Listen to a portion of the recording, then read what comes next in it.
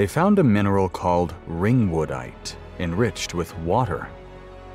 This suggests that the transition zone might be a surprisingly wet environment, holding the key to a hidden ocean beneath our feet. You might be wondering, with so much water on the Earth's surface, how could an ocean below the crust go unnoticed? Well, let me explain. Most of the Earth's surface is indeed covered by vast oceans. But when you consider the thousands of kilometers between the surface and the planet's core, those oceans seem like mere puddles. Even at its deepest point, the ocean is just under 11 kilometers, or 7 miles, thick, from the crashing waves to the ocean floor.